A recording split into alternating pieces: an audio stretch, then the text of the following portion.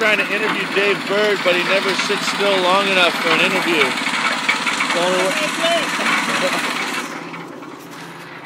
I guess I'll just have to follow him. Hey.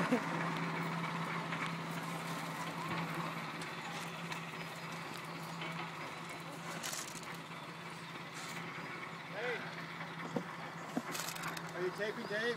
Hey Dave, here's your measuring tape that you always use.